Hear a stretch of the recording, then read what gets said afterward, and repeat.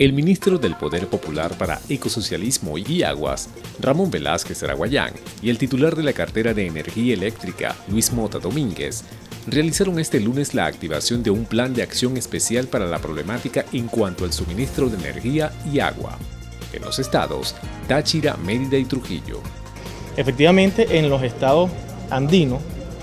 como son el estado Táchira, Mérida y Trujillo, ha existido una disminución de la lluvia. Por tal motivo, las anomalías, que así se le llaman, presentan anomalías negativas. Quiere decir que la lluvia han estado por debajo de los promedios normales. Tal es así que, de acuerdo a las proyecciones meteorológicas,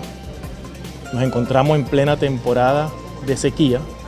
La lluvia en nuestro país está modulada por lo que llaman la zona de convergencia intertropical, el cual es una banda nubosa que se mueve de sur a norte y de norte a sur y con ello nos trae la temporada de lluvia.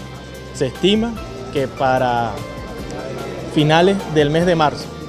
las lluvias han llegado acá al área, a la cuenca de la Vueltosa y con ello vamos a iniciar la recuperación de los niveles.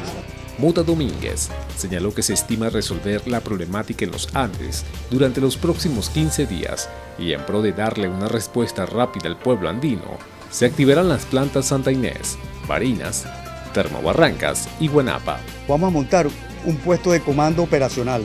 toda vez de que estamos formando parte de ese equipo que ordenó nuestro comandante presidente, un equipo multidisciplinario para evaluar la situación de los embalses, específicamente el embalse de la Hueltosa, que ha traído como consecuencia una serie de eventos que ha traído interrupciones en estados de suroccidente, tales como son Barinas, Portuguesa, Mérida, Táchira, Trujillo y algunos sectores del Alto Apure. Durante una rueda de prensa, el jefe de energía eléctrica informó que en el estado Trujillo se realizó la aprehensión de un hombre de 29 años por sabotaje a una planta de Corpoelec ubicada en la entidad andina.